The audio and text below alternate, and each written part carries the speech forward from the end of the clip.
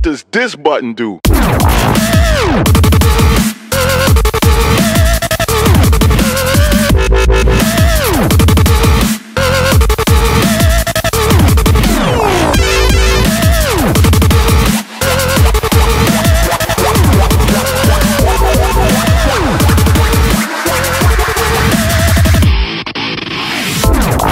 Uh-huh. It's